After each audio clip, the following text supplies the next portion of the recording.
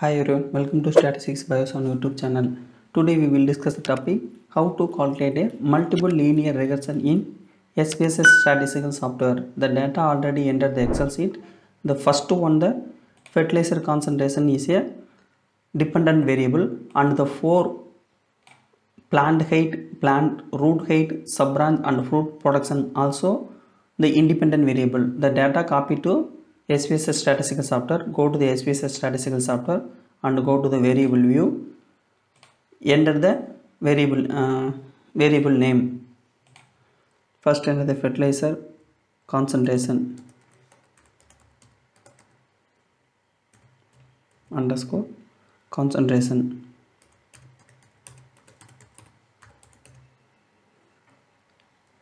and another one the plant height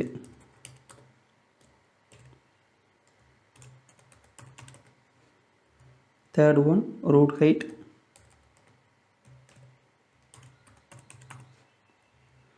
fourth one sub branch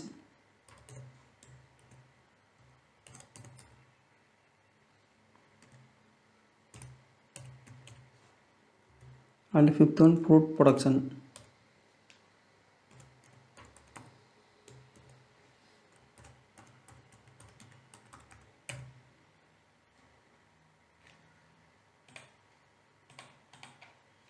and go to the data view?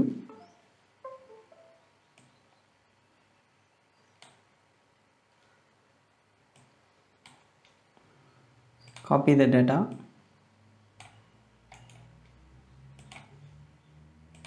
Paste the SPSS statistical software.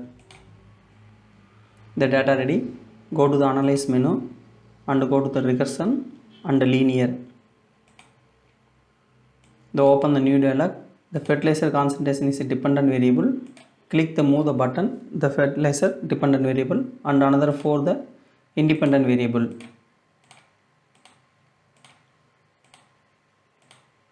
Go to the statistics button. The known selected for the uh, coefficient interval 95% or 99 which one choose the select the changes the level. And the descriptive status click and click the continue button. Then go to the ok button. Now open the new dialog for output in the multiple linear regression output. The first one the descriptive statistics. Um, the another one data. The correlations. And another one the final three important table for the multiple linear regression. The model summary the r, r value and r square value and adjusted r square value 0.579 and standard error for the estimated 0.19856 and ANOVA table this one.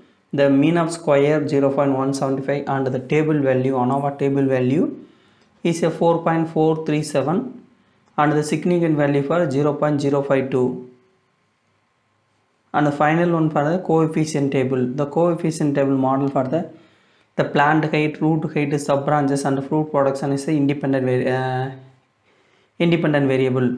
The dependent variable for the fertilizer concentration.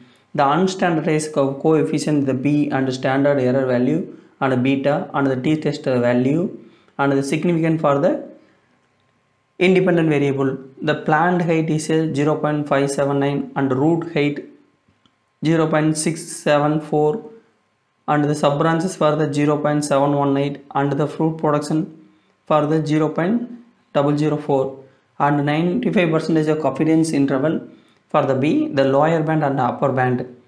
This is output for the multilinear regression in SPSS statistical software. Thank you for watching this video.